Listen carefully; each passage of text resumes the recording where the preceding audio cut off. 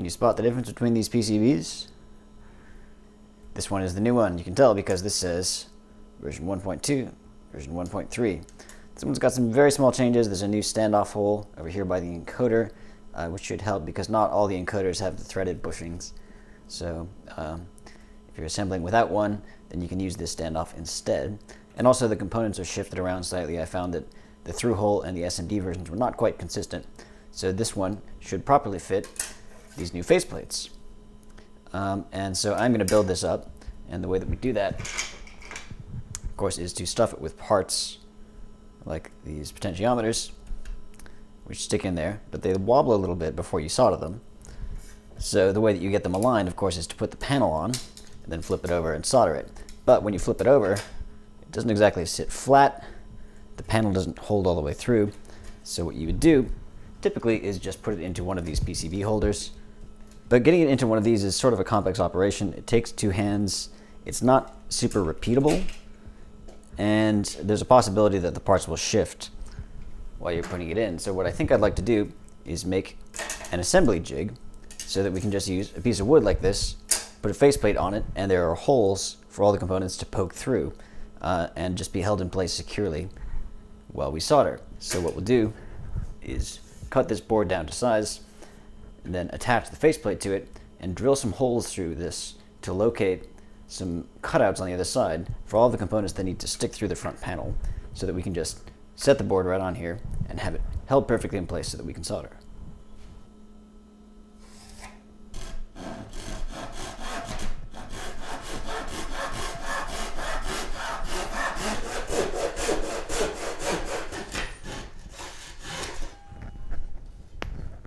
Here is our cut down board and we can just locate the front panel on here somewhere. We've got the two big knots in this piece, so I'm just going to try and make sure that the places we need to drill through for these potentiometers, as well as the encoder and the jacks, we don't need to drill into any of those knots, so we'll just put that one behind the front panel like that and screw it in place.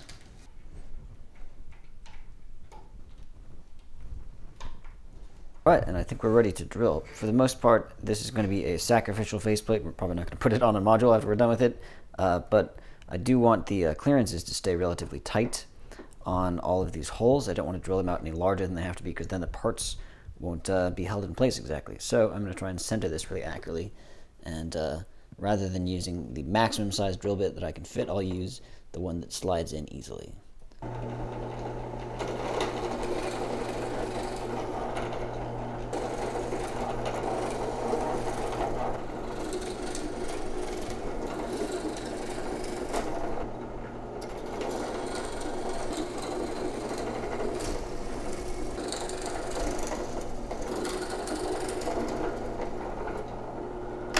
So we can just check the clearances for the parts. Here are the 3.5 millimeter jacks, and they slide in and sit flush with the front panel just fine. No resistance at all. And the potentiometers go all the way in until they hit the bushing. It's probably kind of hard to see that, but they don't quite go all the way in because this drill bit is a little bit undersized for these holes, and the next one up I have is a little bit too big. So rather than drilling out the panel, we're going to take that off and then enlarge the holes underneath. Uh, but before we do that, while the panel is precisely in place, uh, I would like to slightly drill out spots for these LEDs because they can sit flush with the panel and that looks okay, but I think they look a little bit better because they have a round top if they sit just a little bit proud. So I'm going to get a small drill bit and then set the depth stop for the drill so that I can just take off a tiny little bit underneath each of these cutouts.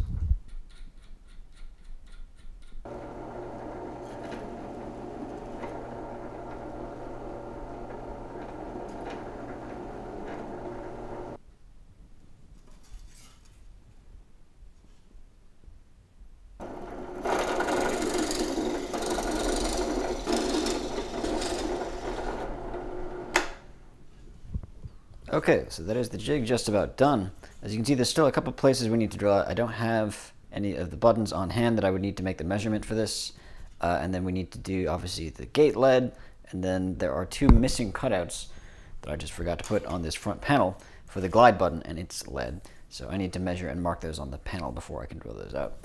Uh, but first, I'm just going to make it a little bit easier on myself to assemble these and put some mechanical retention in that doesn't involve some screws. So I'm going to screw this panel back down to the board, and then we're going to align some wood spacers with with one flat edge to the top and to the side so that we can just slide this panel into place and know that it's registered.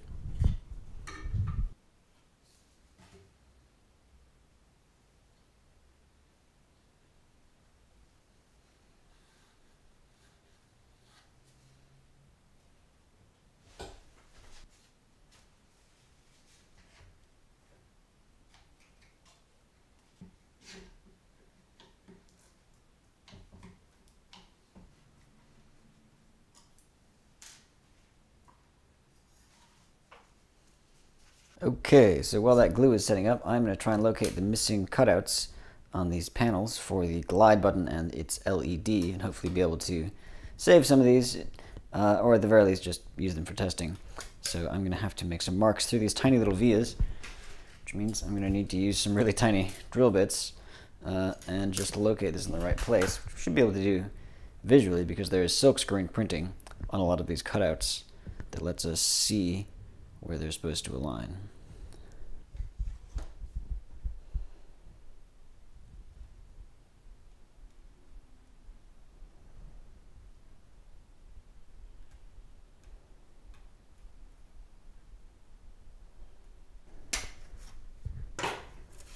Well, you can probably just barely see that, but there are some four dots there and two dots there.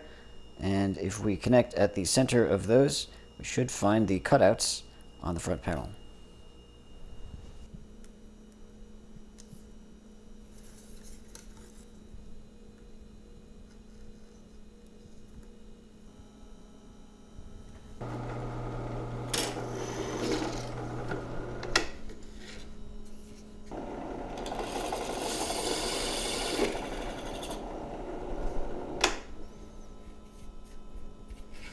Alright, I think that came out pretty well. There's no uh, burr or tear out on the front. Obviously it's not wood, so it doesn't, uh, doesn't split in the same way. Dealing with fiberglass is kind of a whole different beast, but I think I may be able to salvage these. I've got about a dozen of these panels that have this precise problem, but uh, I will try and basically use this one as a template, mark out the rest, and then drill matching holes for them. Assuming there's no other problems I find once I solder these. Maybe I should do that first. Speaking of which, our template should be about dry. There's the template. These aren't 100% dry yet, but they'll hold in place as long as I don't lever on them. And uh, yeah, there is automatic registration. So let's put some components on the board and see if it fits.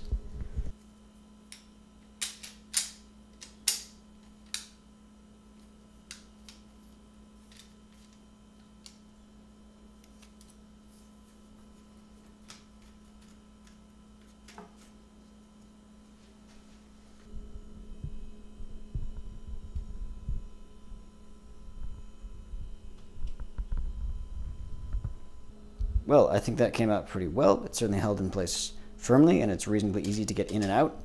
Uh, I might want to make a couple changes. Probably want to widen the potentiometer shaft holes a bit because they are uh, producing a little bit of friction, and maybe I want to relieve the inside edges of these so that it's easier to slide the faceplate on.